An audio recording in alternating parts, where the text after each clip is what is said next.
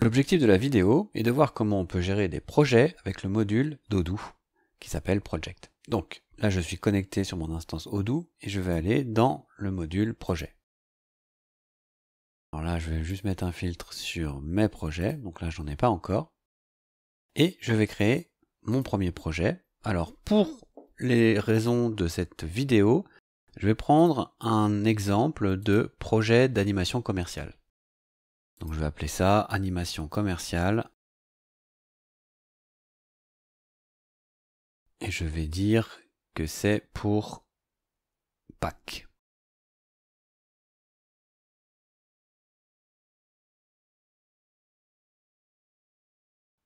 Ensuite, donc, une fois que j'ai créé mon projet, je vais gérer l'ensemble des différentes colonnes du diagramme de Kanban qui vont me permettre de pouvoir passer chacune des choses à faire de assigner à en cours à fait, c'est-à-dire pouvoir suivre comme ça l'avancée euh, du projet et un peu suivre aussi à qui j'ai confié des tâches, qui est en retard, qui est, qui est, qui est en avance, qui a fait le travail demandé. Donc, on va faire une première colonne qu'on va appeler nouveau pour les nouvelles tâches à faire.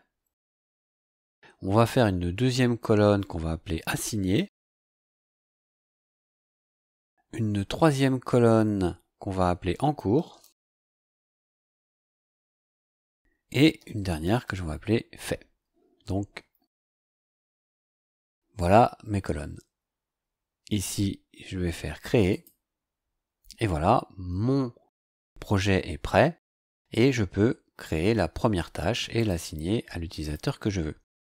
Alors, avant de faire ça, je retourne sur mon projet ici, je peux aller voir ces différentes paramètres. Donc là par exemple à la place de task, moi je vais appeler ça des tâches. Je peux choisir le, le, responsable de cette animation. Je peux euh, réduire ça seulement les utilisateurs internes. Ou alors s'il faut aussi qu'il y ait des clients qui soient impliqués, je peux utiliser les internes et ceux qui sont invités. On va mettre que les internes. On va mettre tous les internes pour que tout le monde puisse voir ce que je fais. Ça peut être par rapport à un client spécifique. Là, a priori, ça va concerner tous les clients. Et dans description ici, je peux utiliser euh, les différents titres pour mettre en forme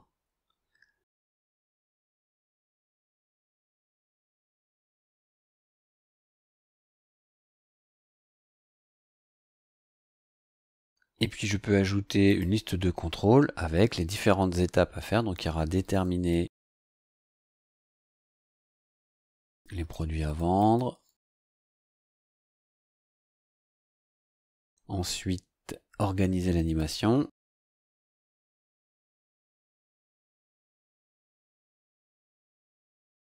Ensuite, préparer. Réaliser évaluer les performances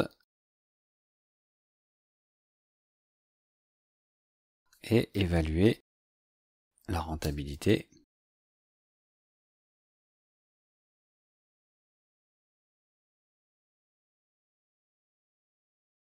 On va le mettre en normal. Alors moi je suis abonné, hein, ça veut dire que je vais avoir des notifications en tant qu'administrateur sur les différentes choses qui vont se passer sur cette animation commerciale. Comme d'habitude, hein, je peux inviter euh, d'autres euh, utilisateurs à s'abonner pour que eux aussi puissent suivre et recevoir, des notifications en fonction de l'avancement de cette animation. Donc là, je vais faire sauver.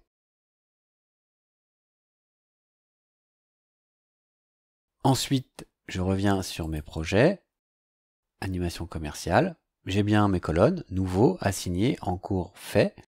Euh, le code couleur ici, ça correspond à si j'ai mis des tâches à faire aux gens.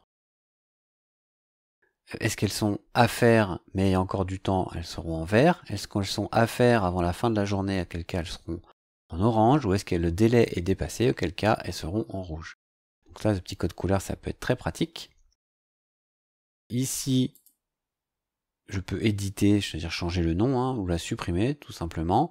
Et je peux ajouter une nouvelle tâche à faire pour ce projet. Et voilà.